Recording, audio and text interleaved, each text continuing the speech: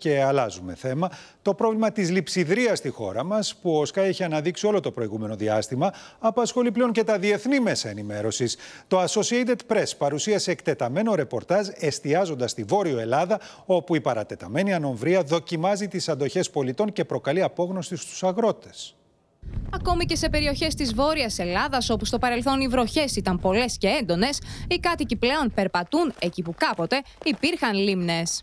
Ο παλιός πυθμένας έχει μετατραπεί σε ένα στεγνό τοπίο. Έχει δύο χρόνια τώρα, δεν βρέχει καθόλου. Γι' αυτό και η λίμνη έχει ξεραθεί εντελώς. Κάποτε είχε πολύ νερό, υπήρχε κόσμος, έκανε μπάνιο.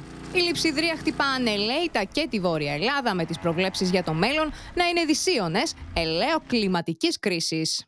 Αυτή θα πάει για λάδι.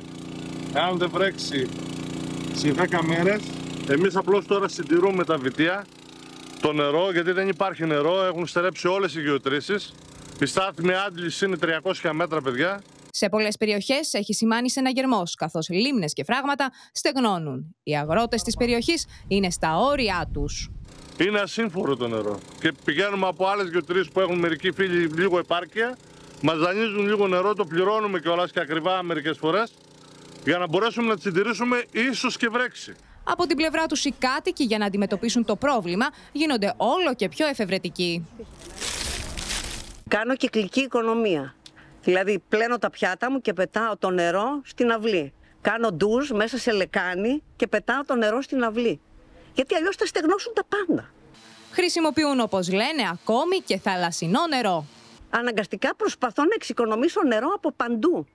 Και όταν χρειάστηκε, κουβάλισε και με το καρότσι νερό από τη θάλασσα για την τουαλέτα.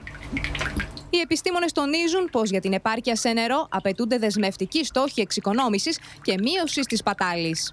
Βλέπετε αυτή η ξηρασία κρατάει τρία χρόνια περίπου τώρα η ανομβρία. Θέλουμε εξοικονόμηση πρώτα και αποτελεσματική χρήση του νερού, όχι σπατάλες σε δίκτυα μεταφοράς κλπ. Το δεύτερο είναι αποθήκευση νερού σε μικρά φράγματα, ταμιευτήριε, λιμνοδεξαμενέ. Και το τρίτο είναι επαναχρησιμοποίηση των επεξεργασμένων λιμάτων από τους βιολογικούς καθαρισμούς. Όπως τονίζουν όλοι, η κλιματική αλλαγή είναι εδώ και ήδη υπάρχουν στοιχεία που μας κάνουν να αναφερόμαστε σε κλιματική κρίση.